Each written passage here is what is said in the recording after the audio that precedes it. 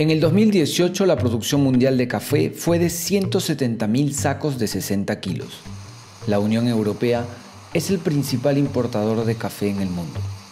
Los franceses consumen un promedio de casi 6 kilos al año, siendo el café especial de altura el producto con más demanda en crecimiento.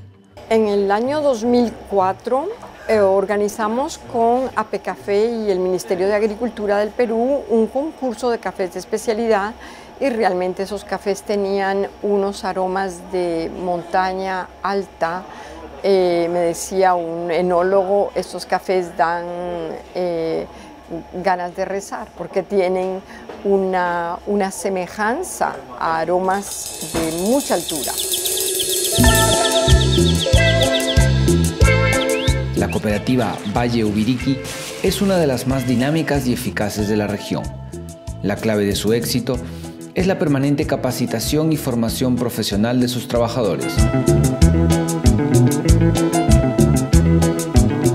Este grupo de jóvenes Q-Grader van a realizar la catación de una muestra que será igualmente analizada a 10.000 kilómetros en París.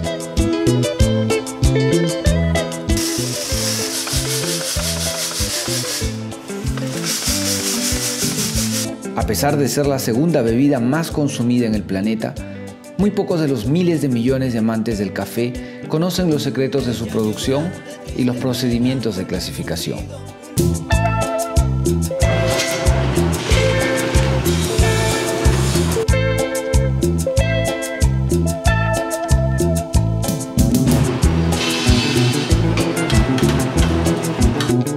La Cafeoteca de París es la cuna de la cafeología y el lugar de encuentro de los grandes especialistas en cafés especiales.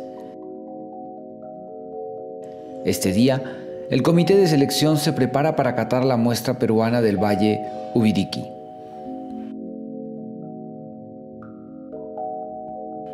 A pesar de estar separados por un océano, los dos grupos siguen los procedimientos de análisis tradicionales.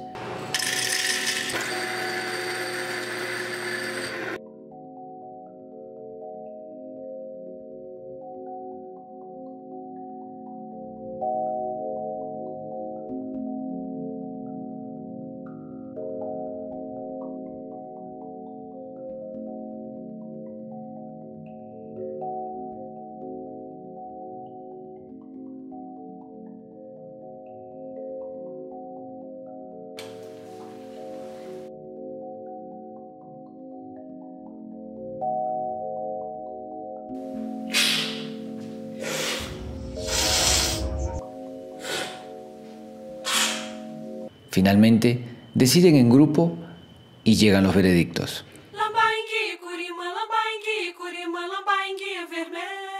Que este café tiene notas a fragancias, notas, notas florales cítricas, cítricas propias de la zona de Chanchamayo.